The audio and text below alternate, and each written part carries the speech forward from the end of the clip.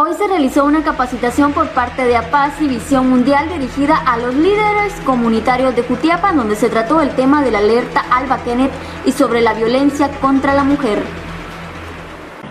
La Procuraduría de los Derechos Humanos, junto con APAS, coordina eh, ya por varios años lo que son diferentes capacitaciones a líderes comunitarios. El día de hoy estamos reunidos precisamente para realizar una de estas capacitaciones. Durante este mes estaremos realizando varias enfocadas precisamente a reforzar dentro de estos líderes comunitarios lo que es la ley de protección integral a la niñez y la adolescencia, hablarles un poquito sobre lo que es la ley Alba Kenneth y también eh, reforzar un poco sobre lo que es trata de personas.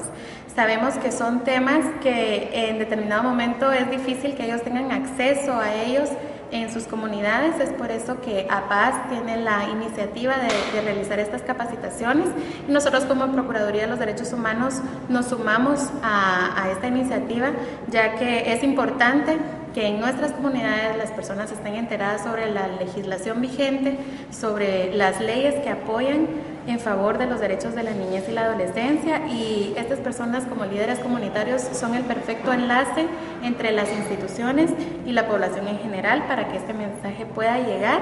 y ante todo para que en el momento en el que lo necesiten puedan ellos buscar la ayuda idónea